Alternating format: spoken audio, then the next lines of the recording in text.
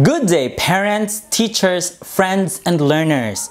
Thank you for joining me and welcome to this maiden edition of Learning Journey with Dr. Jerry.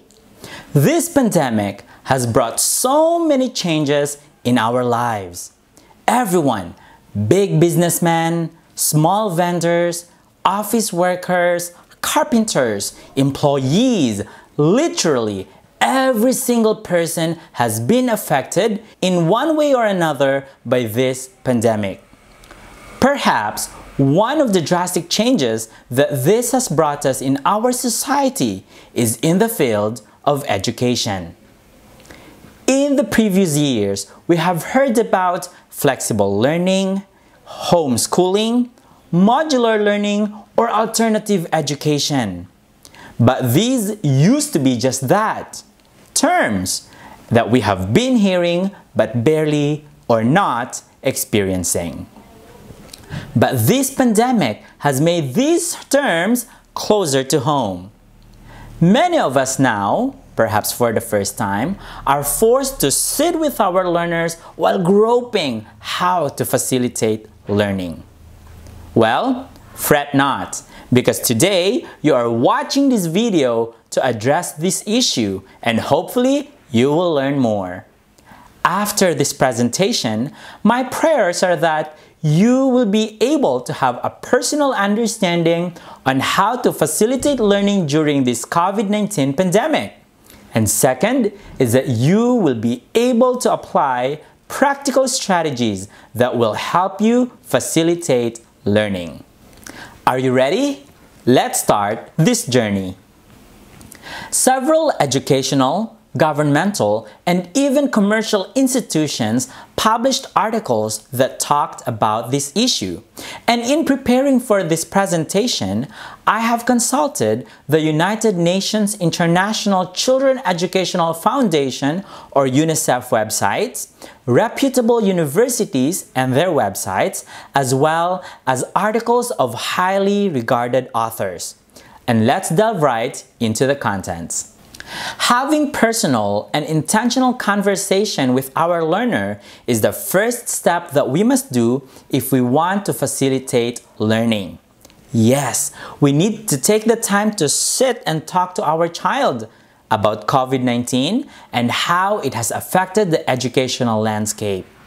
We must inform them that because of this pandemic, everyone has to adjust and that they are now about to experience what they are not used to. That the classroom setting is not an option for now, and that they are to commence home-based learning. This is something that parents tend to forget or ignore. Sometimes we think that we don't need to explain things to our students, to our children, that they just have to do whatever we ask them to. Anyway, we are their parents and we supposed to know better, right? Well, we have to change our mindset. Bear in mind that our learners will be experiencing this drastic change and we have to cushion them from the shock of all these new things. And one of the ways to do that is just to sit with them and talk to them. Let me reiterate. The first step that we must do to ensure learning in this pandemic period is to talk to our learners. Now, part of our agenda as we talk to our learners is to start establishing our learning environment. Remember, when our learners are in school, their teachers have established classroom rules, procedures, and even the routines learners were oriented when to go out, when to put their things away, when they can play, when they have to stay put. These rules, procedures, and routines have been established in the classroom. But now, our learners are confined in our home.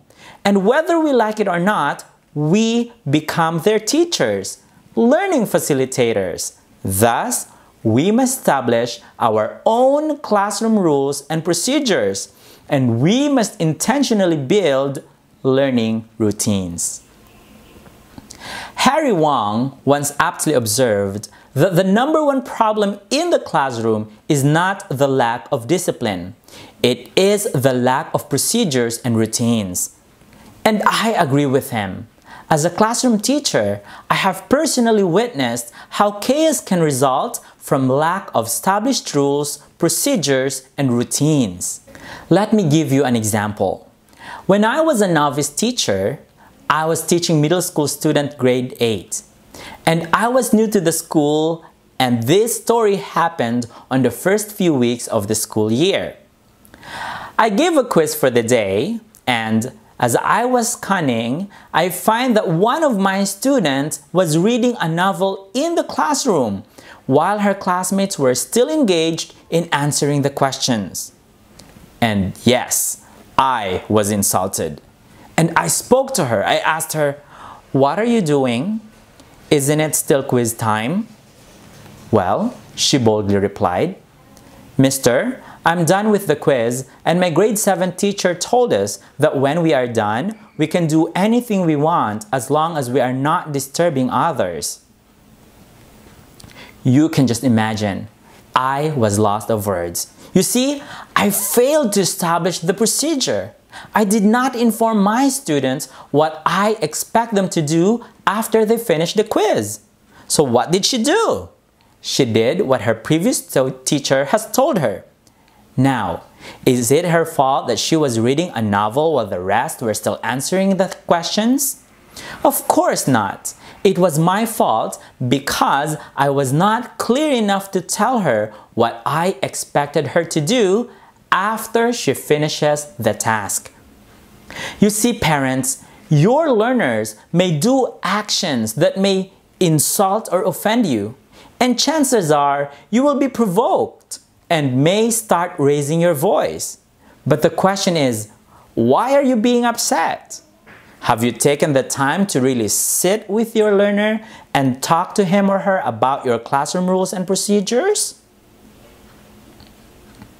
Have you established your routine? Talking to our learner is the first and most important step that we must take and during this conversation, establish rules, procedures, and routines. But do not stop there. It is also imperative that we inform our learners what we expect them to learn this school year.